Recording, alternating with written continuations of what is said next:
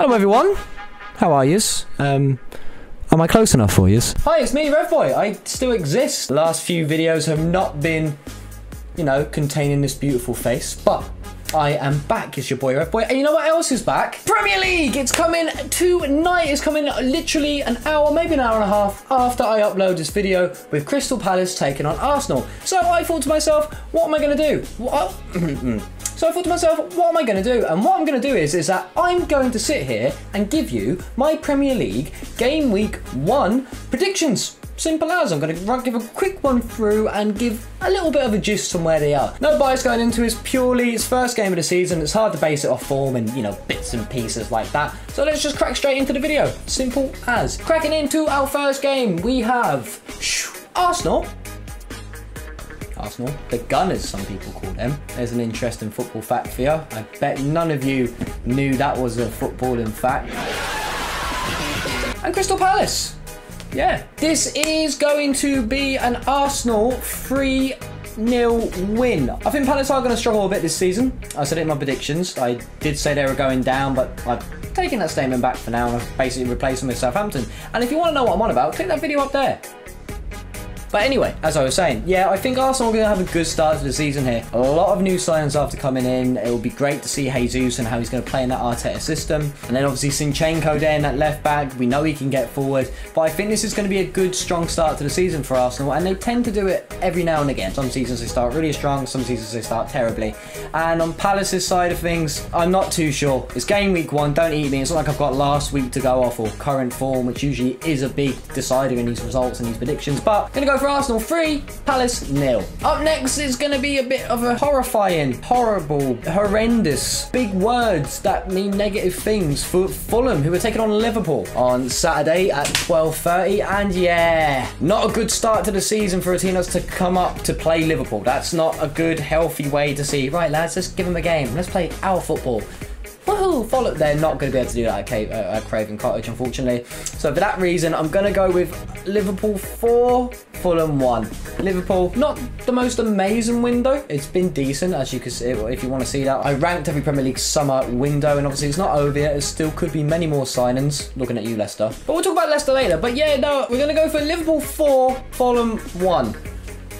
Yeah. Up next, we have Bournemouth and Villa, and I think Bournemouth made some alright little signings. I, I, I don't think they're going to stay up necessarily, but I think they're they'll put in a shift and they'll definitely grab a few goals. But Villa, what a window. What a window indeed. But I'm just plain and simple. I'm going to go for Villa 2, Bournemouth 1. I think Villa will dominate the game, struggle to score a few times, you know, near chances missed, you know, while forward players are finding their feet back in the Premiership. And then I think Bournemouth might just pick up something from a corner maybe late on in the game, just to scare Villa a bit. But I think it'll be three points for the Villains and Steven Gerrard. Up next, we have Leeds and Wolves. And a lot of people think Leeds are going to go down because last season they didn't do exactly fantastic. But this season, I think Leeds might shock everyone a bit. I think Leeds might do well. So well, they're going to be Wolves 3-1. You know, I just think opening start to the season, Jesse Marsch got his first, you know, season at Leeds now to, you know, tinker and play around and he's had time to bring in his signings, um, if they are. They've been fantastic signings that Leeds have made. I'm not going to talk about the name and the transfers too much in this video just because I kind of done that last week. Up next we have Newcastle and probably the most anticipated team to watch this season from everyone. Everyone's expecting Newcastle to do big things. They've got the money now. It's their first season with the money. I know they had it last season, but they had half a season. And Eddie Howe worked wonders. From January of last year, since Eddie Howe came in at Newcastle, if you would have started the league then,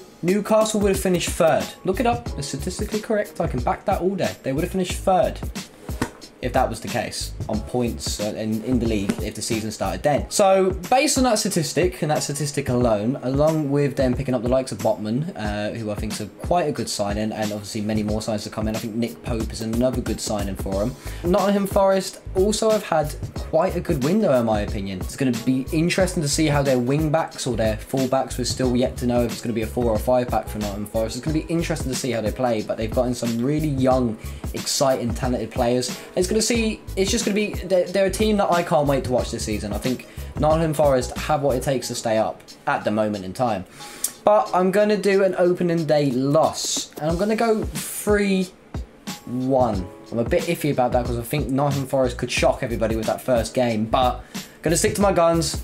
Big Eddie Howe fan. Up next, we've got Tottenham and Southampton. I think Southampton are going down this season. And every now and again, well, once every season, Southampton tend to lose somewhere between 7 to 9 nil at some point.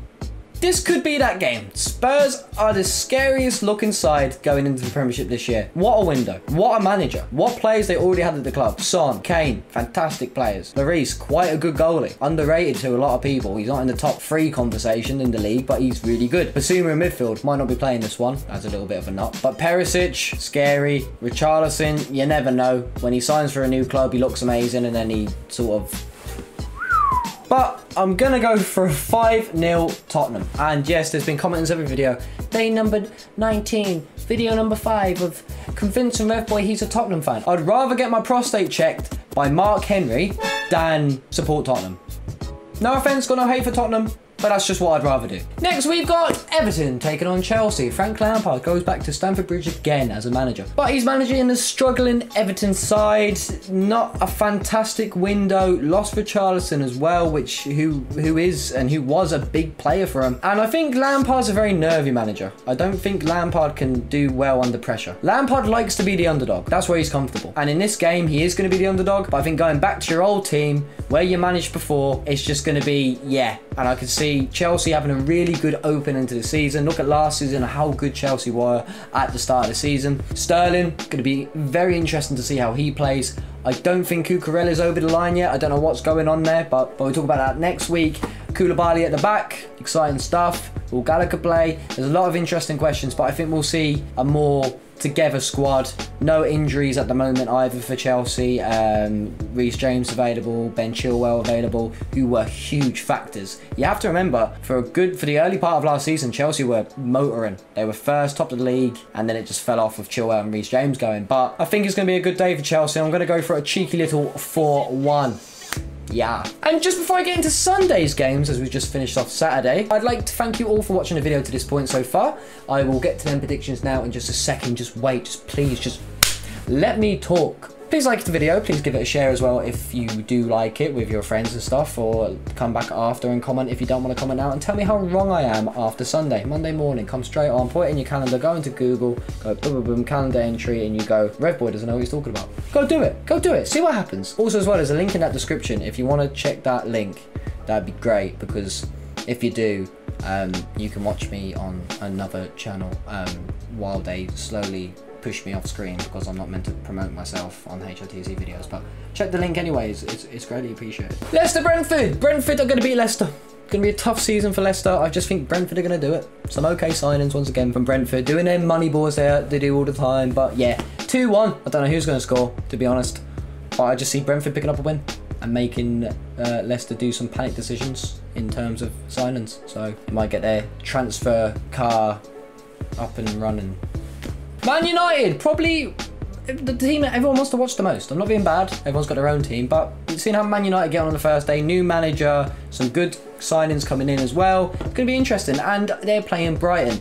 Now we all remember last season with Man United and Brighton. You know, Danny Welbeck and the crew and Man United fans. But I think this is going to be a good point if they can show now against Brighton what they were struggling with last season and they could beat them, which I think they will, 2-1. I think it'll be a good start for Ten Hag. I don't think they're going to come out and go insane. I think it's going to be mad. Players are going to need time to get used to the new Ten Hag system, the new Ten Hag style. I think Man United are, going to think they're going to win this one 2-1. But yeah, sorry Brighton fans, sorry Grandpa, I love you so much. Please be England manager, please. And our last game, our last one. Very sad. Crying. It is West Ham taking on Man City. I think Man City are going to struggle. Tough opening game to the season, and West they dropped points to West Ham last season. West Ham, David Moyes, he likes playing against the big teams. He likes playing against the top six. He likes playing against Manchester City. I think it's going to be 1-1. Sorry about these predictions. They're very hard to do game by game when you haven't watched anything. You're, you're only going off like a couple of transfers, and I'm not being bad. I don't take pre-season into it. Man City, I guess, are just after coming off a, a, loss to, to Liverpool. You know, quite an embarrassing loss as well especially for Haaland. Yeah, but just like he just hit the post there, I'm going to ask you to hit the link in the description and go subscribe to RevBoy. Oh, look, it's also there. Also, as well, please do like this video. Make sure you subscribe to HITC Football. And while you're at it, leave a comment. Let me know your predictions down in the comment section below. But it has been your host, RevBoy. Link in description. If you subscribe to RevBoy, I'll um, make you your favourite dinner. But that's the end of the video. As I was saying, do all that good stuff and make sure you do like, subscribe, and comment. It's been your host, RevBoy. Bye.